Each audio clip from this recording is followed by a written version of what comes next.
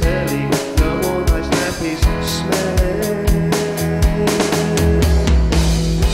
Alone here in the kitchen, I feel there's something missing. I beg for some forgiveness, but beg it's not my business. And she won't write a letter, although I always tell her. And so it's my assumption, I'm really up the junction.